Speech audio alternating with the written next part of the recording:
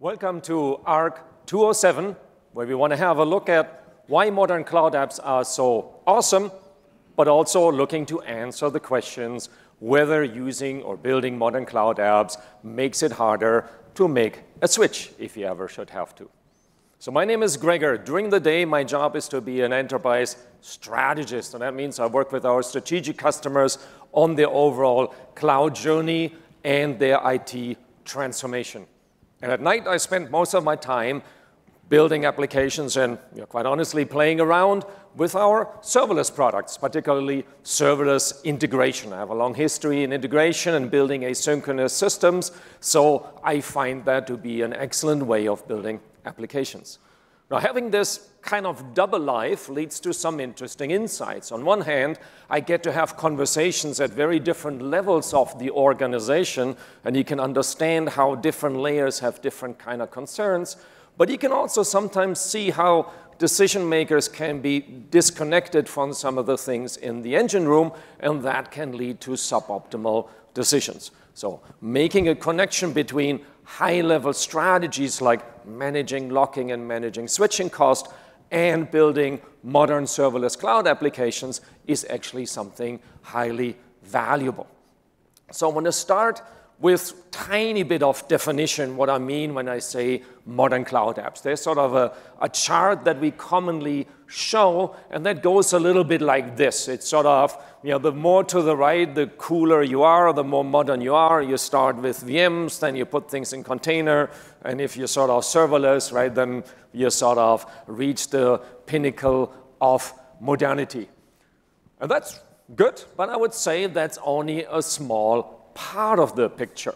Because if I look at the application, I don't look at just like where does it run. I also want to see are you doing everything by hand or do you have it automated? Do you uh, use CI/CD, continuous integration, or is this all like duct, tape and string wire? What about observability? Are you using managed services, right? Or are you hand coding everything and then just put it in Lambda and say, oh, now I'm very modern? I don't think so, right? You should be using modern services. And if you build something fine grained, you should pay a lot of attention to managing such a system and having sufficient observability. And the list of questions goes on, right? Maybe you're building a serverless monolith, right? Does that put you on the far right? Maybe, maybe not. Maybe this is written in COBOL, right? Does that qualify, right? Maybe not a bad language, but harder to be pressed to say that you're having a modern application. So when I say modern applications, I really mean the sum of languages, architectures, ways of working, being in the cloud, using automation, using managed services, the sum of all these things, not just the runtime. And if we understand this, then it also totally makes sense that when we say serverless at AWS, we don't mean just Lambda and Fargate, right? Werner in this morning's keynote talked a lot about asynchrony and event-driven architectures and EventBridge and step functions and SQS and SNS, right? And DynamoDB, these are all parts of the serverless suite. So for us, serverless is not just a runtime. It's a way of building applications. We saw the announcement of the composer this morning also, right? That all comes together when we say modern applications and when we say serverless. So yesterday I gave a talk that was titled The Architect Elevator. It's a book I wrote and it's about architects connecting different levels of the organization. And one of the statements that I like to make is that as architects, we tend to be the people who see more dimensions, where some folks feel things are sort of one way or the other, and we can show them that there are more dimensions to this discussion. And I want to apply that way of thinking to this question. If I move further on the right, on, Uh, to the right on my curve, right, I gain a lot of things, but do I lose something, right? Do I lose flexibility? And the trigger for this, the kind of conversations that I have, they sound a little bit like this. I understand that building applications on a serverless ecosystem, that's sort of the cloud native way of doing things, right? That's the way you build applications. The cloud wanted you to build applications. Right? You're fine-grained, event-driven, fully automated, programmable in CDK, using managed services, asynchronous, like all these kind of things. That's what you want. But at the same time, you also want freedom, right? What if you need to make a change? Your application, when I talked about evolvability and evolvable architectures, well, things can evolve in many different ways. What if they ever need to evolve in? You need to do this on a different platform. And the one-dimensional view looks roughly like this right? On the left-hand side are sort of the old ways of working. That's what you don't like. Those are the brittle monoliths, lack of automation, everything is self-coded, you don't get to use managed services as much, right? Those are all the things you don't like. That's why you do want to build modern applications. But then there is perceived thing at the bottom where it says, well, isn't that what locks me in? And the sad answer is, as long as you have a one-dimensional view on this, there's no happy place right? It's like either you're there or you're here or you're somewhere in the middle, and you're probably unhappy in both regards. So that's not good. So as architects, we can come in and say, why does this have to be on a single dimension? Why is there only left and right, and why is there only red or green? Why can't I have more dimensions? So I can say, let's plot this on a chart. Here's how much platform usage I have, and here much is sort of this you know, much dreaded word of lock-in. If I take the single dimensional view, right, this is a straight line, right? So I've taken the old way of thinking, but I put it in a new model. As architects, we like to use models to sharpen our thinking. So this model has two dimensions. And now I can have different discussions, right? Is this really linear or maybe I can dampen the curve, right? Maybe I have some switching costs and we'll realize we always have switching costs, but maybe that doesn't actually go up that much, right? And you have that discussion and you can have a whole other level of discussion, which is maybe there's another dimension in this right? Maybe there's the X factor, or maybe we call it Z, Z factor, right? What if I can shift this thing into a whole parallel universe, and that actually allows me to drive these so-called lock-in, these kind of switching costs down. So using these kind of architecture models fundamentally changes your way of looking at the problem and allows you to think about it much differently. But let me tackle the notion of lock-in a little bit. It's always, you know, seems to be like we go into jail or something, right? When we talk about lock-in, it's a bit of an odd term, you know. In the end, there's two key statements we need to make.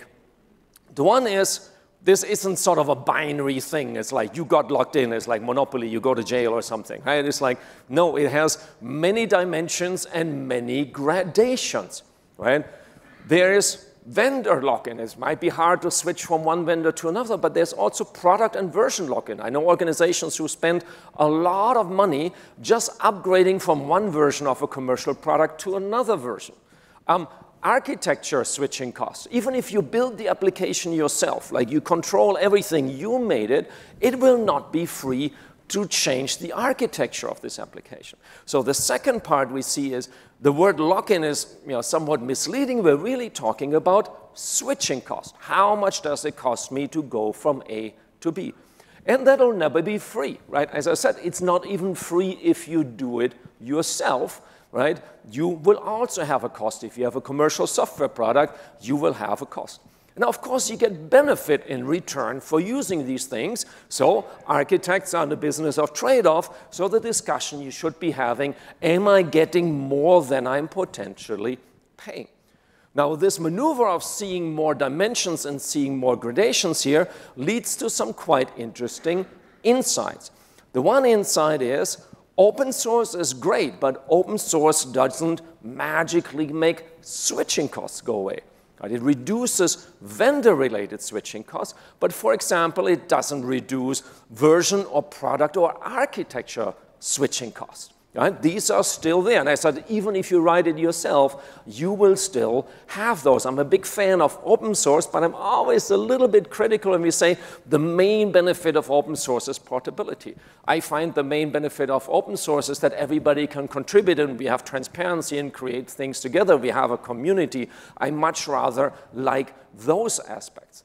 And the other one, there was one at the bottom I didn't comment on. There's a notion of mental lock-in. And you kind of wonder what that is. You might reach for your aluminum foil and make a, make a foil hat so you don't get mentally locked in. I'll come back to that later, why that's actually a serious topic and how you can manage the mental lock-in. So let's look at what people normally do when they talk about switching costs. Let's say I built something, I built modern cloud apps, and I want to know what does it look like if I needed to take that to another platform. And so the first tool that you will generally find are the so-called service mappings. You know, several cloud providers will have these mappings and they look a little bit like this, right? On your favorite cloud, you have certain things. You have Lambdas, you have your SQS, right? You have your DynamoDB, you have EC2, and then in the other world, there's something that's called roughly similar and looks relatively similar, right? And if you zoom out far enough, you could say, well, they probably kind of correspond one-to-one. -one. And actually, for architects, this zooming out is a useful but also a dangerous maneuver because some abstraction is good. But Joel Spolsky once coined the term of the astronaut architects. And basically, he said if you zoom out too far, you get into thin air, you lose oxygen, and you lose your judgment. Right? If you zoom out far enough, everything will suddenly look the same. So be careful here, right?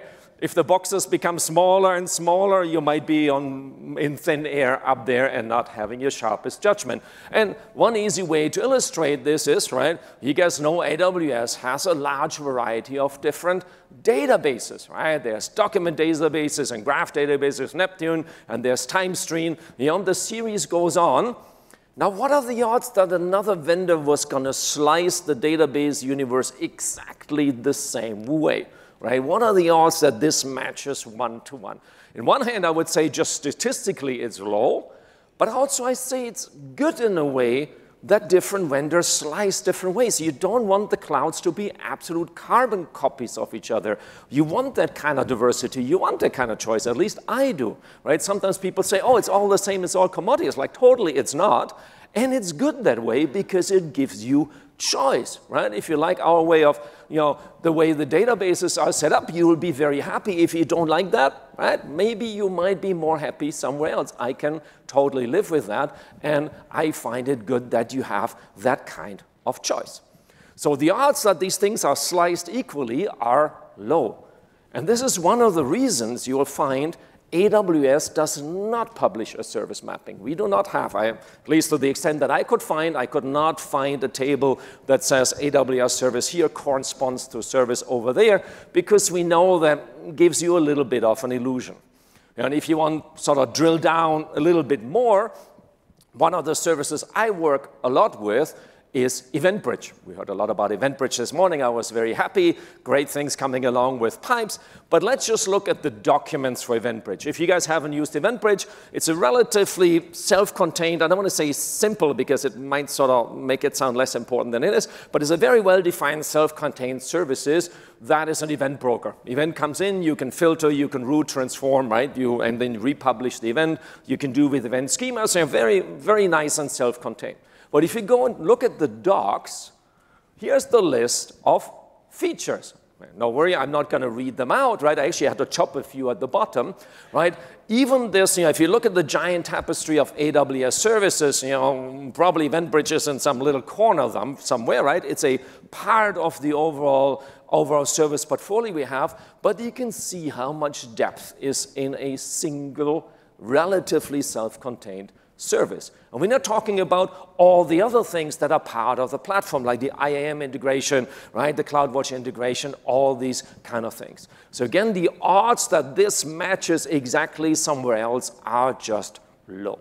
So what we learn is that service mappings don't really work very well. There's sort of a bit of an illusion, might give people some comfort level, but in reality, right, the services don't map that one-to-one. -one. So if you, you know, you're on the left-hand side and you build something with our wonderful serverless services, right, and you think, ah, I just use that map and go over there, that is unlikely to work. But we always get a little bit smart and we say, okay, if that's not that easy, let's not actually use these services down there. Let's make an abstraction layer right? And as computer scientists, we have some proven success to the point where there's sort of the universal, I think it's called a fundamental theorem, it's called of software engineering, of you can solve every problem by just one more layer of indirection. There's a footnote, and that says, except if you have too many layers of indirection.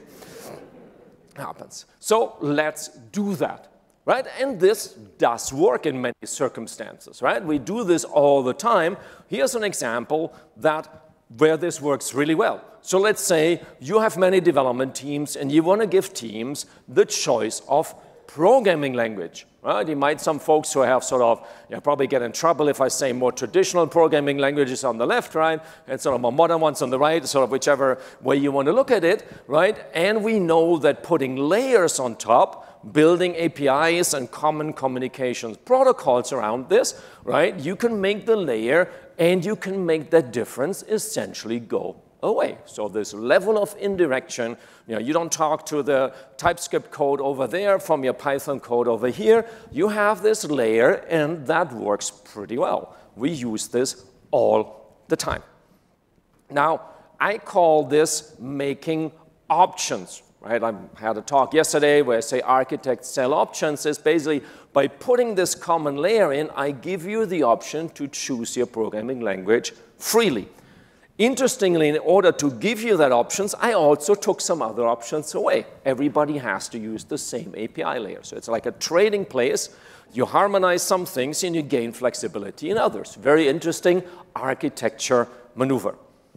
And the reason I call this options and the reason I call this selling options, selling implies something isn't free right? Selling implies that it has a cost. So these options also have a cost. These layers don't come for free, right? In this example that we have here, you need to do some work to build this, right? Somebody needs to make the API layers, maybe use some libraries, right? And always remember when your engineers do something that isn't building functionality, you're not paying in their salary cost. You're paying in their opportunity cost right? The day they spend this, this famous saying, right? They say, oh, I can do this over the weekend, which really means it'll take me a week, right? And if it takes a week, it's not like five times a $1,000 day rate, but it should be a high multiple of that because in that week, the engineers could have created business value. Many years ago, when I worked in Silicon Valley, the number that we used, it was sort of a napkin number, I never had a proof for it. The number that we used was that one engineer hour is worth 2,000 US dollars. That was the opportunity cost. That's how much business value we could generate. It's also hinted, make your engineers very productive, because that way the opportunity cost goes up, and that's actually a good thing. That's how your business functions, right? The opportunity cost, the value creator's got to be a high multiple of the money you pay, otherwise you cannot have a running business. So building these things isn't cheap. You know, they might have some of complexity, APIs, retries, failures, um, interface changes, contract changes, right? Like stuff yesterday, I also had a talk about distributed systems, so all these kind of things of um, state management, ultimate consistency, you know, retries, idempotency, all these kind of things will, will hit you here. And the last cost you have is you have some amount of underutilization. And that is true in this API example also. For example, your programming language might have very nice object-oriented constructs. You know, it has, it has inheritance, it has method overriding, right? It has constructs, it might have special data types that you can use, but your APIs cannot have those because not all the other languages might support it or support it in the same way. So the APIs are usually not object-oriented and they often have fewer data types, right? So use protocol buffers, that is great, but you will have fewer data types than you would otherwise have. So classic architecture decision, right? You can put the layer in, you gain some flexibility in abstraction, but you also have a cost against that. And in this context, I often say be careful. Having these options, having this flexibility is useful, but if you want options for everything, you're going to drown in complexity right? If you want something that runs in any language, on any platform, in any environment, on any UI, in any location, I always say either you build a JVM, because you sort of build the most generic thing that could possibly do anything that you would ever want, and that doesn't have a lot of value, or you're likely to drown in complexity because everything has now become flexible and you have a giant complicated system.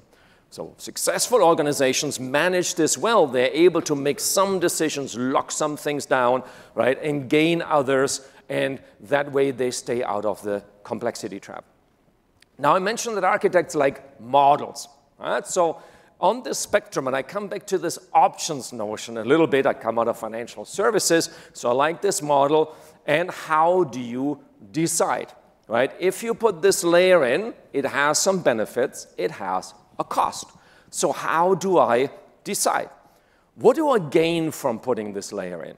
Well, from I gain that a potential switching cost. So let's say I put a layer on top of my cloud, right? A lot of open source projects out there that are doing that or looking to do that, right? What am I doing moving to the right? I reduce my potential switching cost, right? And that total cost is the likelihood that I need to switch multiplied by how much it would cost me to switch right? So if you say, if I ever needed to go to another platform, that would cost me $100,000, and the chance that this will happen in the next couple of years is 5%, your liability is $5,000, right? It's the amount that you would pay times the likelihood that you have. And of course, the lower this is, the better, right? You gain, right? If this is less, that is absolutely valuable, no discussion about it. Now the question is, how do you get this lower? And we just said you know, these layers that you put in to reduce your switching costs, they have a cost today, right? They are not free. And now, rather than having these dogmatic discussions about, oh, does everything have to be on Kubernetes? Can everything be native? Is Kubernetes also serverless, right? You can have all these kind of debates. Now you can have a much better decision model, right? How much upfront invest can I justify in order to reduce the future switching costs. And you can make assumptions. How much would it cost me if I do nothing? What's the likelihood? Is some low-hanging fruit, right? And I can have sort of something in the middle. And folks in the financial services industry, they know this all very well. They have formulas for this kind of stuff. They call this the option price and the strike price. The option price is what you pay right now in order to have the option later. And the strike price is the money you still pay when you utilize the option, right? Because even with all the layers, that isn't going to be zero. And interestingly, making the strike price zero is also not the exercise here because then technically it's no longer an option because you made all the investment already upfront. So the goal isn't to make the switching cost zero. The goal is to find the optimum between upfront invest and having a good read on potential switching cost. And having models like this allows you to make much sharper decisions around this. For example, in financial services, time value of money. Probably learned that somewhere, everybody came across this in school, right? Today's dollar is worth more than tomorrow's dollar. That's why the lottery pays you over 30 years. They don't pay you today, they pay you over 30 years, and the real amount of money you get in today's dollars is about a third, right? That's called the time value of money. So one thing, once you have this model, you need to factor in is the investment you make today, like the option price you pay, like building these layers, using these layers, the extra complexity, the underutilization, you pay for that in today's dollars, right? That is cost that you have right now. If the complexity slows you down in any way, that is a cost you have right now. If you have engineer hours building this, that cost you have right now. The payoff is in the future. So the payoff, like the reduction in potential liability, might happen one or two or three years down the road. So you're paying with more expensive dollars than you're gaining back, and you can factor this in. Now, the question you should have now, what's the interest rate in this thing, right? We live in interesting times with inflations and low interest rate and high interest rates. You're like, so, so, so how much less is next year's dollars worth? It seems this year that's somehow a lot, right? And it bothers all of us, right? But how do you, how do you put this in this kind of equation? And the answer is, is the rate of return of your organization. The faster moving you are, the higher this discount rate is. And that leads to a very interesting insight why fast moving organizations very rarely use or build these abstraction layers. Because to them, today's dollars, in comparison to the future dollars, are extremely expensive. If they were going to spend six months or 12 months doing some of this, they will be out of business. The cost will have been infinite, and they actually never get to use the option. So the faster moving an organization is, the less valuable this exercise of reducing switching costs becomes.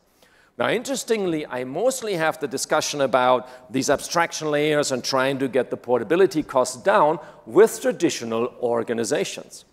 In one hand, you could say, aha, if they're slower moving, right, that is a better discussion for them to have, right, because for them, maybe the future dollars aren't worth that much less than today's dollars. But that is sort of the wrong argument.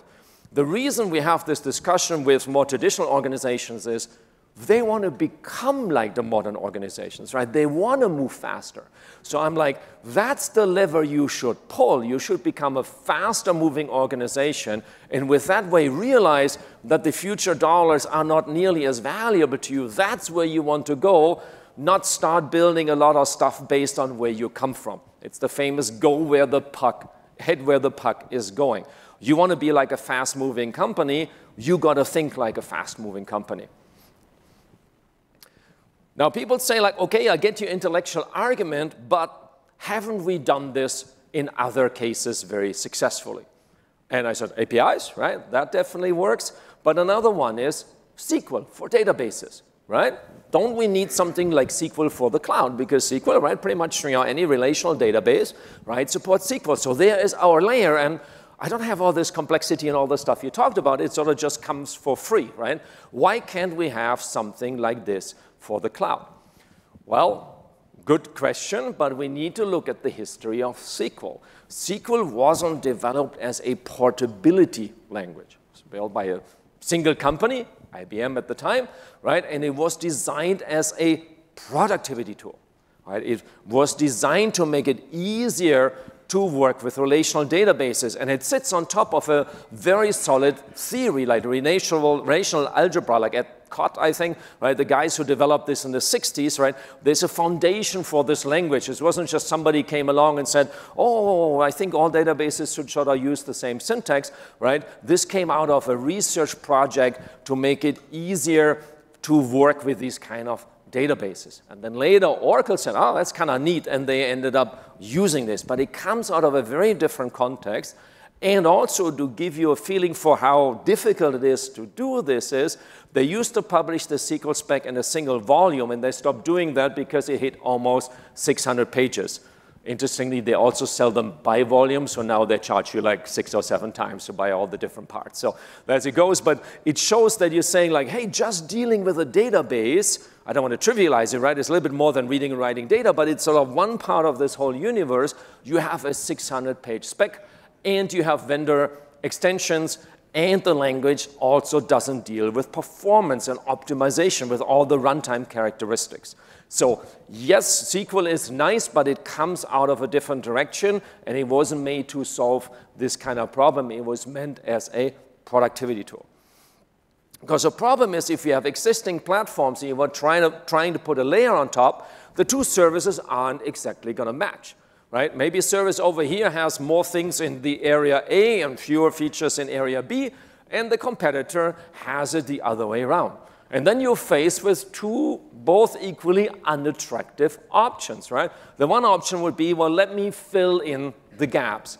That's a pretty thankless exercise. We're just at re:Invent and a number of announcements you've seen, right? These capabilities will grow. So either you wasted time by building something that then the provider adds, or you're constantly playing catch up. Not very good to sort of try to compete with multiple very successful cloud providers, right? Highly innovative companies, fast moving target, right? You would be signing up for a lot to sort of try to fill in the gaps, even if you technically could, right? Some of the features might be deep down in the code, so then it's not even doable uh, or not even conceivable to, to do this.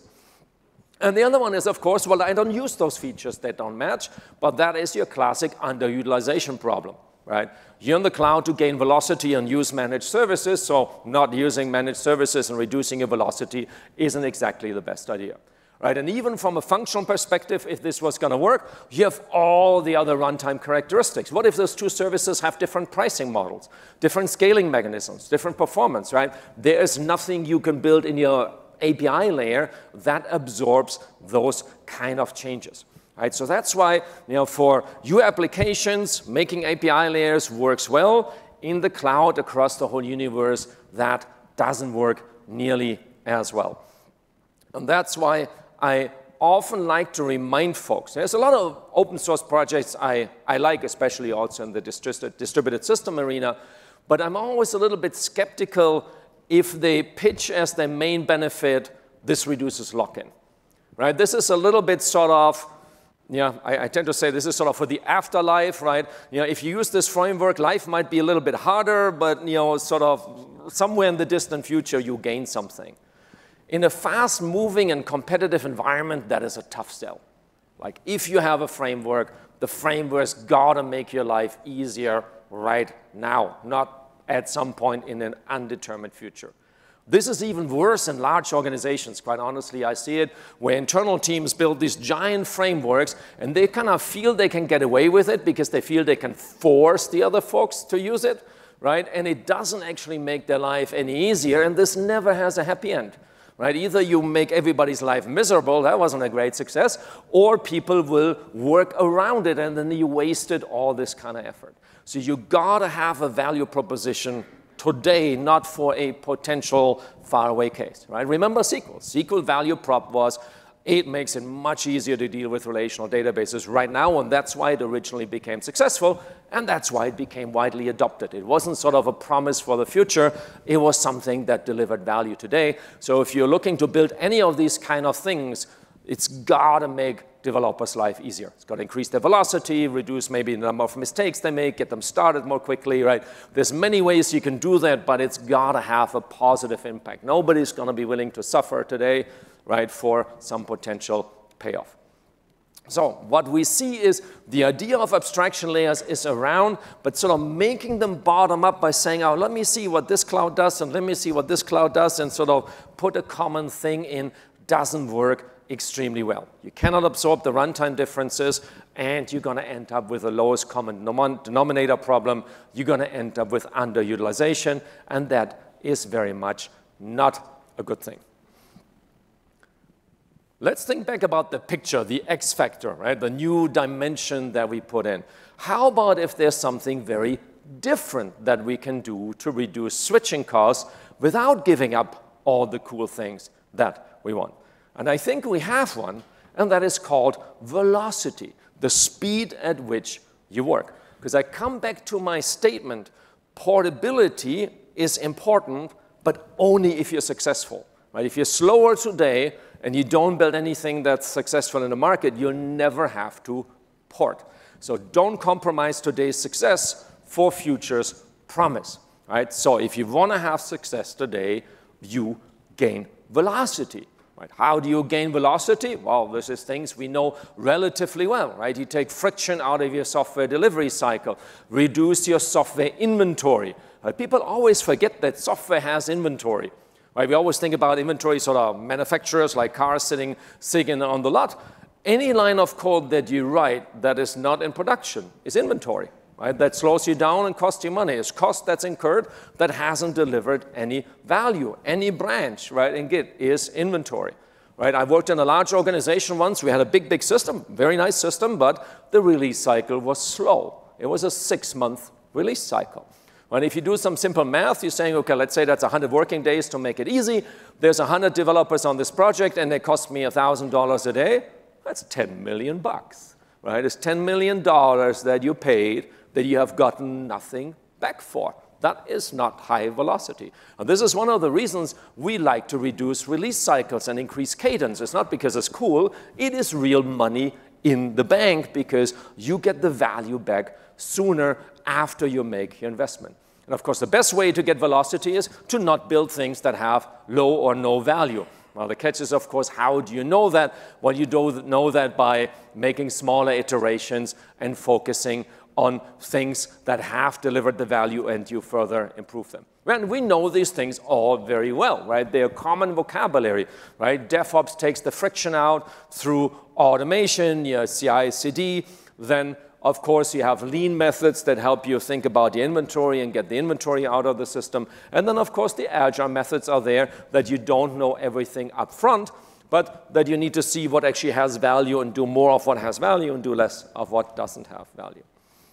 Now, the amazing thing is that if you manage to increase your development velocity, you also reduce your switching cost. You know, the lock-in, the so-called lock-in, isn't something the vendor does to you. It's not like, so we did something and somehow you're locked in. Your own velocity is the biggest determinant of a possible switching cost. And I have a couple of, of examples and anecdotes of this. So some years ago, JDK 1.6 was deprecated and no longer maintained. So I worked in a very large organization where this led to months and months of steering committee meetings and probably like double digit million dollar efforts to go get rid of 1.6 everywhere and upgrade to the next version of the version of the JDK.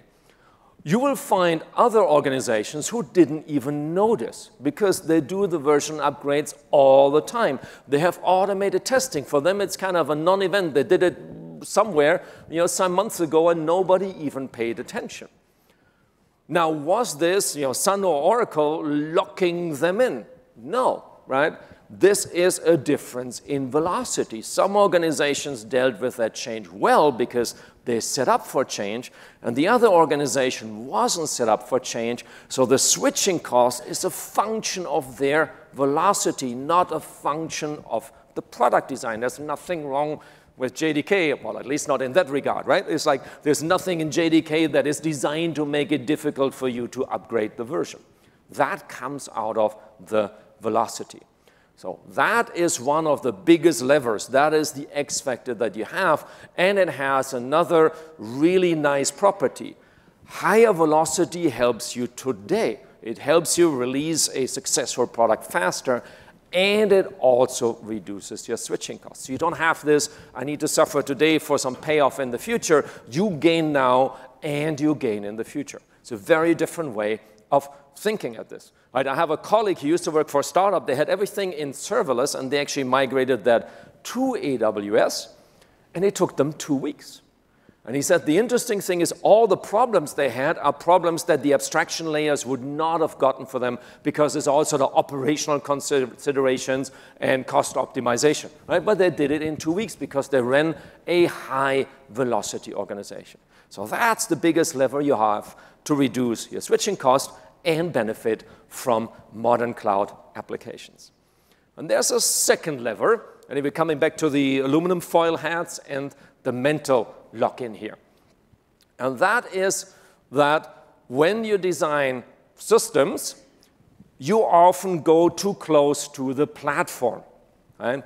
And I said this in my talk yesterday, and this is coming for somebody who works for AWS. If you only think in the services, you've become mentally locked in. We love the services, they're all fantastic, right? We're launching more of them, right? That is all good. But your thinking shouldn't be just in the services. Like your architecture isn't step functions and EventBridge, right? Your architecture should be something that you have in mind.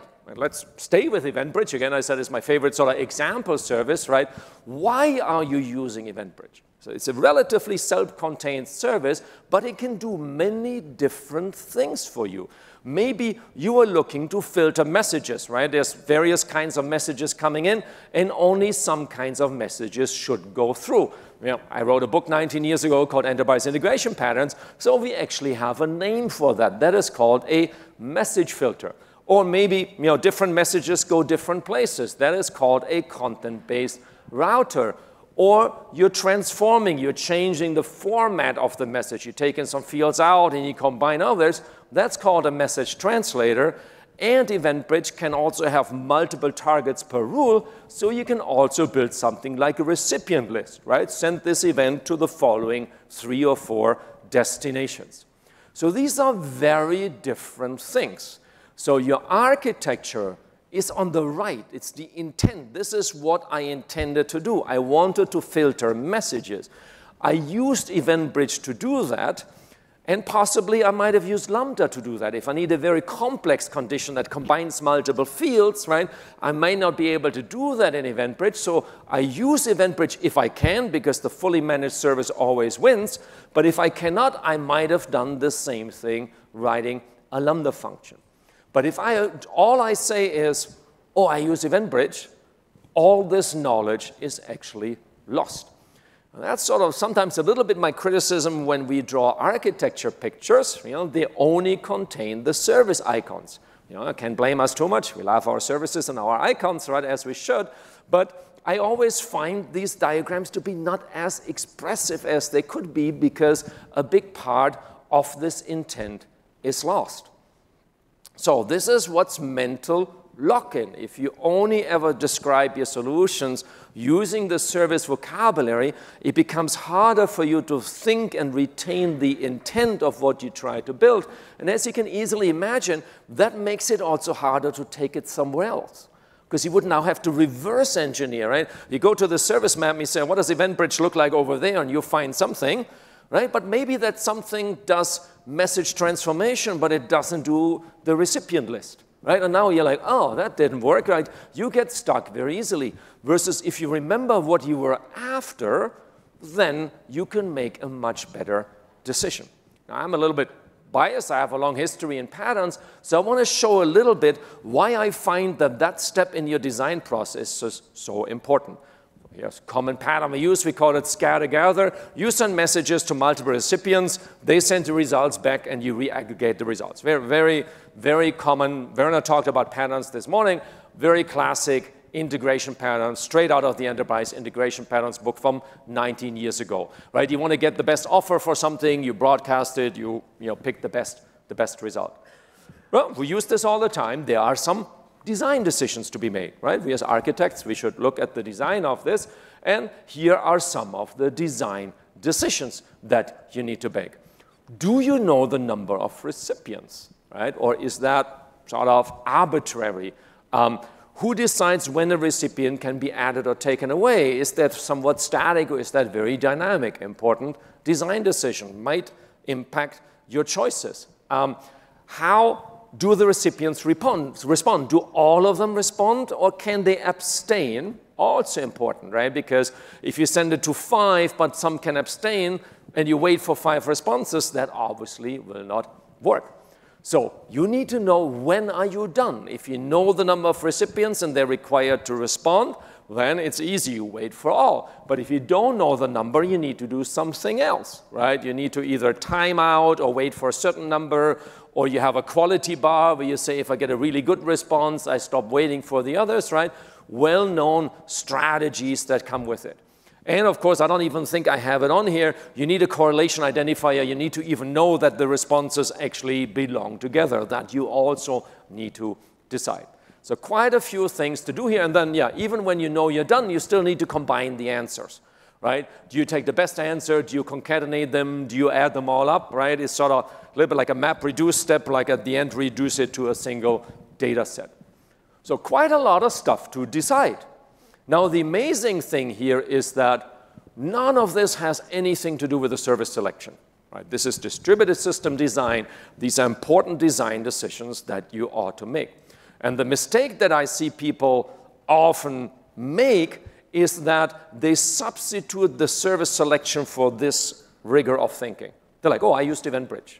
Right? And they're like, oh, that was my architecture decision. It's like, no, no, the architecture decisions are exactly those. So skipping this layer is actually quite dangerous in my point of view, right? And also leads to the mental lock-in, right? Because this is something that has nothing to do with services and it has another huge advantage you can communicate this to a much broader audience.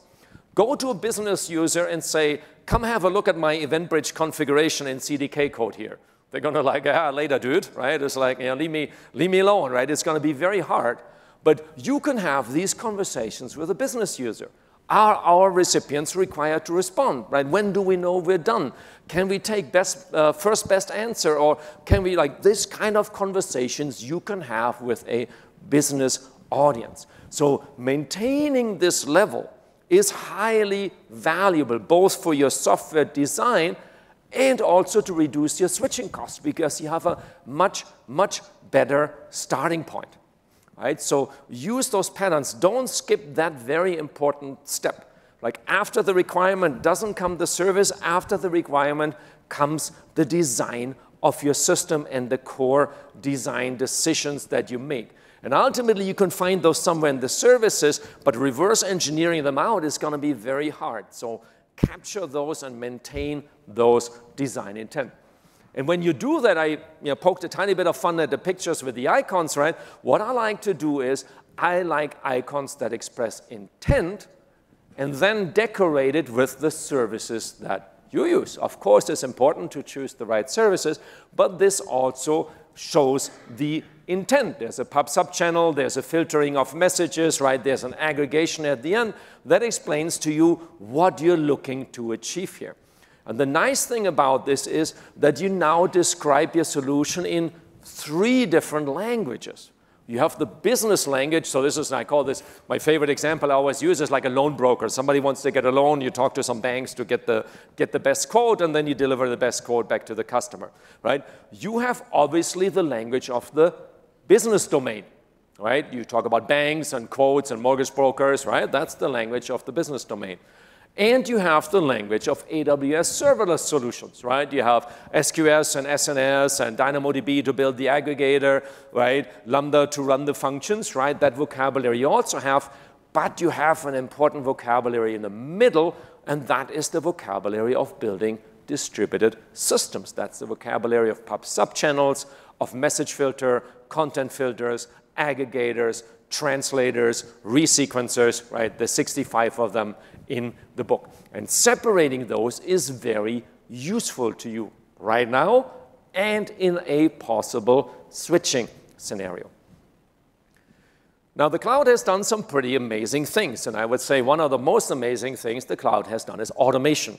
I sometimes go as far as say cloud without automation is probably more or less a better data center, right? Automation is fundamental aspect of why the cloud is so useful, and it's an inherent aspect of building modern cloud applications, right? You couldn't imagine having a fine-grained serverless application and like do everything by hand. Automation is fundamental. And that allows us to do something pretty magical. So these design patterns I showed, right? In the book we wrote 19 years ago, the enterprise integration patterns, they were largely on paper, right? They were like design constructs, right? There wasn't like an aggregator. It was like something that would help you express your intent, but there wasn't sort of a matching runtime element for that. But with automation and in the cloud, you can change that. You can code these patterns. And here's an example. It's actually a real example where I said I need some data that's coming in and I need to combine the data. Very typical pattern in event-driven architectures, right? There's some events, I correlate these events, right? They all have the same ID, one, two, three. I combine them and I concatenate the values, right? And I, I, I build that, it's very common. And you can build this very nicely with DynamoDB because DynamoDB has some really cool operations, atomic operations like list append. Very, very neat. Right? Every time I dig deeper into our services, I find some really cool stuff. It's like, hey, whoever put this in really thought ahead because in a distributed system, right, that is one of the key you know, challenges. How I avoid contention if I need to append to a list or increment a counter, and voila, DynamoDB has built-in functions for both. Makes your life much, much easier.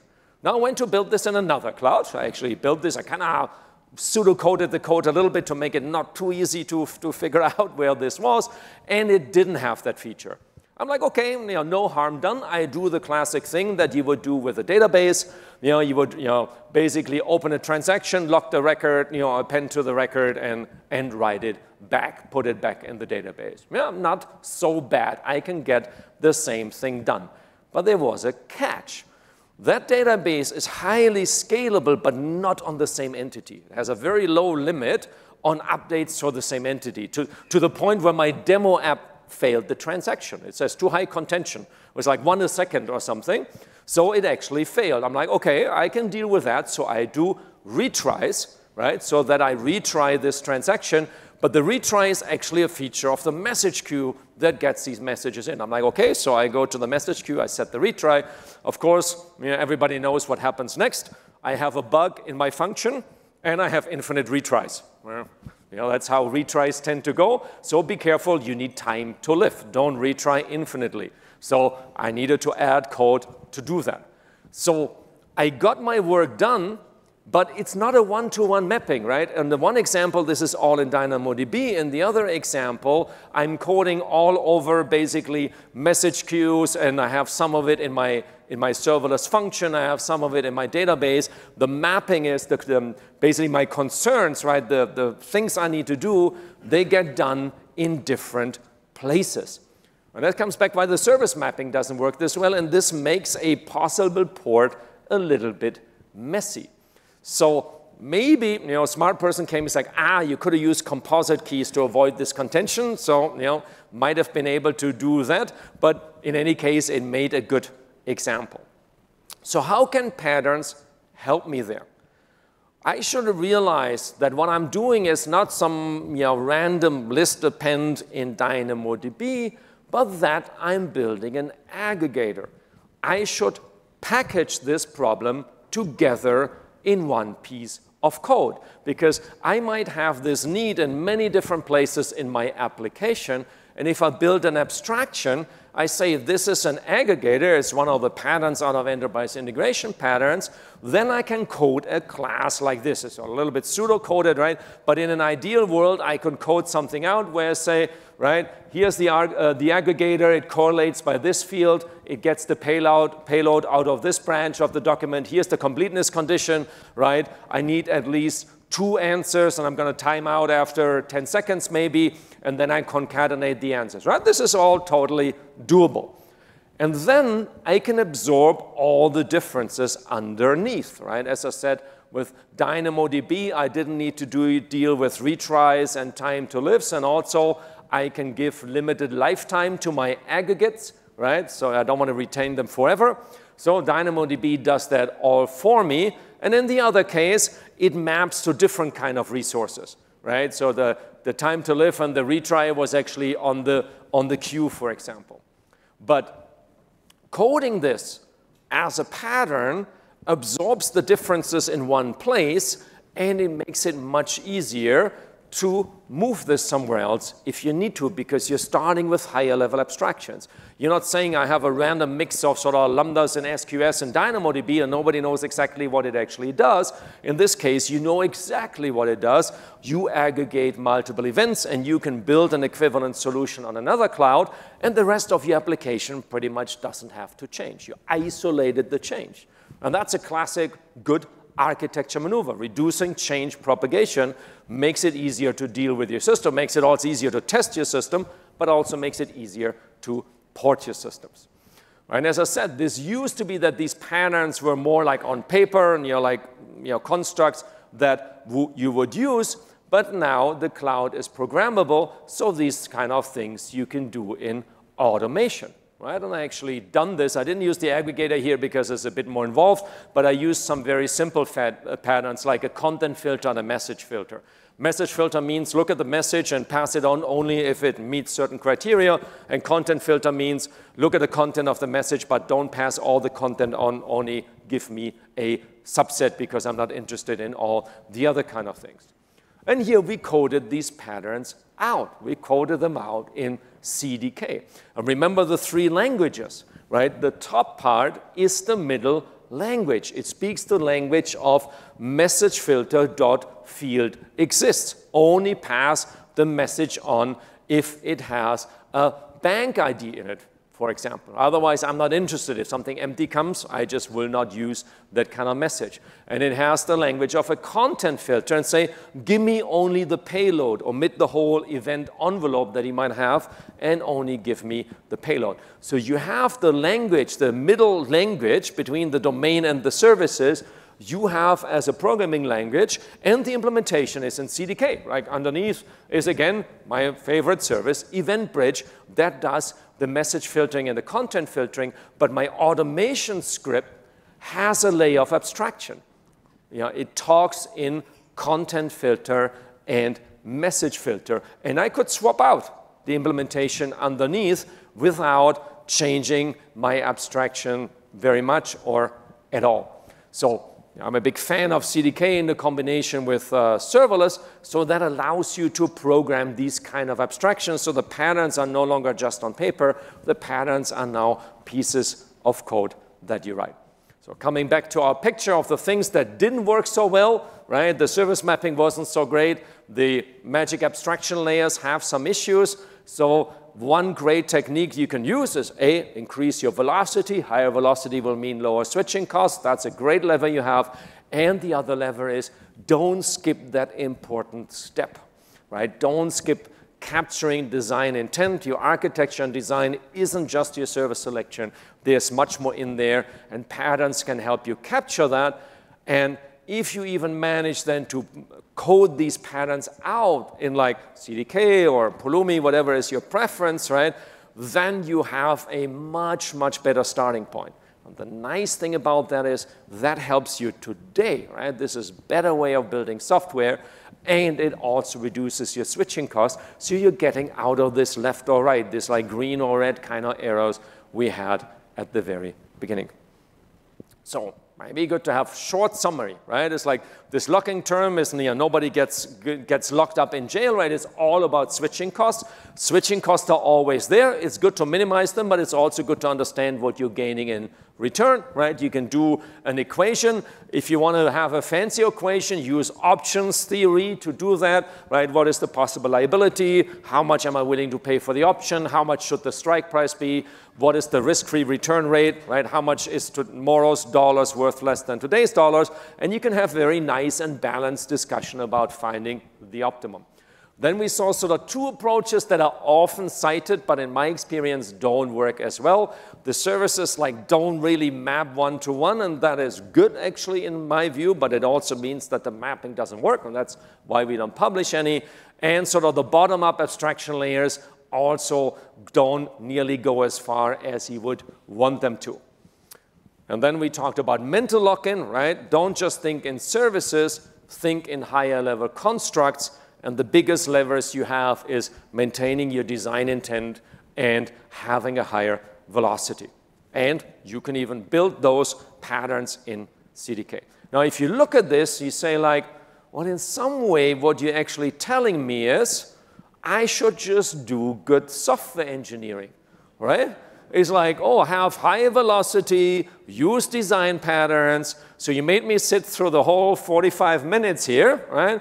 And basically the answer is yes, you should use good software engineering. And I actually stand behind that answer right? Use good software engineering techniques. They give you the repeatability. They allow you to make changes. They will give you more velocity. They will reduce your switching costs. They maintain your design intent, allow you to build better solutions, and they also reduce your lock-in. It just took me a little while to convince you of that. So obviously there's more behind it, and as I said, I actually tried this out. Now, unsurprisingly, that material is not on an AWS website, so that is on my personal blog. You can have a look, right? I didn't make this up. I took a serverless solution, I used the patterns, I ported it over, right? And I described very much what I found to be different, but I also described very much how I found this to be totally doable. So I don't see any reason to be holding back and sort of punish yourself from using modern cloud applications, use the serverless environment, use it in the way that you have good software engineering practices, and it also very much reduces any concern around switching costs. So hopefully I was able to show more dimensions, thinking like an architect. I thank you for your time, and I'll stick around for some questions. Thank you.